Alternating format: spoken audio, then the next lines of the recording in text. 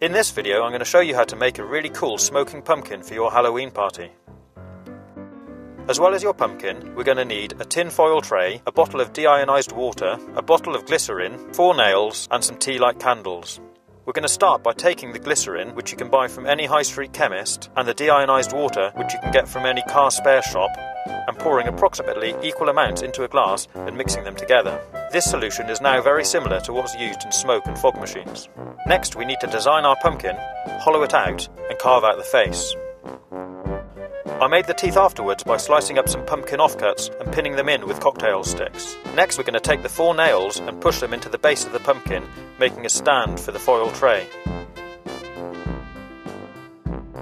Then we're going to light our candles and drop them down into the pumpkin, arranging them neatly in between the four nails.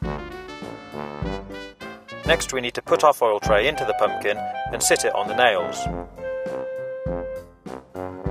Then we're going to take the solution we made earlier, spoon a little into the foil tray, and put the lid back on the pumpkin. It doesn't take long for the solution to heat up, and as it does, it gives off a smoke which pours out of the eyes and mouth. To get the best effect, do it in the dark and play around with the lighting.